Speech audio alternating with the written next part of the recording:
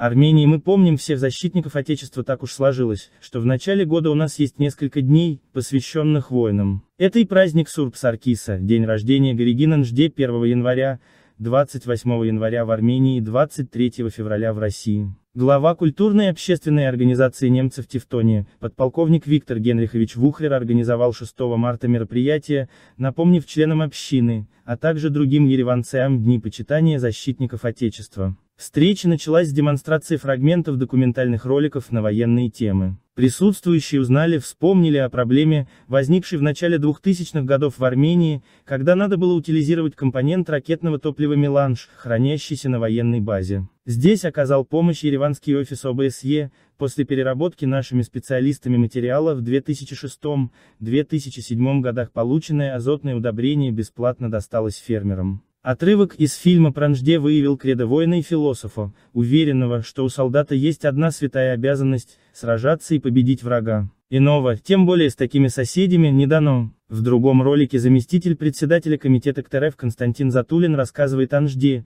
поясняет всю беспочвенность обвинений полководцев в фашизме, а вот Расулзаде, кому в Азербайджане ныне ставят памятники, к концу Великой Отечественной войны был среди тех, кто собирался защитить Берлин. В еще одной документальной ленте перед зрителем предстала фотогалерея героев Карабахского движения, Леонид Асгалдян, Мавсес Горгисин, Татул Капиян, Симона Чекгизян, Командос, Ашот Бикор, Монте, Давид Сарапян, Шаен Мигрян и многие другие творцы победы в Первой Карабахской войне, результаты которой наполовину зачеркнуты нынешним режимом, оценку которому поставят прежде всего современники. Изобретательный, Вухлер включил в видеоряд несколько кадров, снятых на одной из наших позиций 28 сентября 2020 года. Собравшиеся притихли, увидев настоящую, не киношную войну, где вместо холостых свистят боевые патроны и снаряды, несущие смерть всему живому. Под занавес на экране прозвучала песня в исполнении трех мужчин. Они стояли спиной друг к другу, офицер, священник и солдат. Они пели о том, что армию надо крепить духом, оружием и верой как это делали веками защитники Отечества.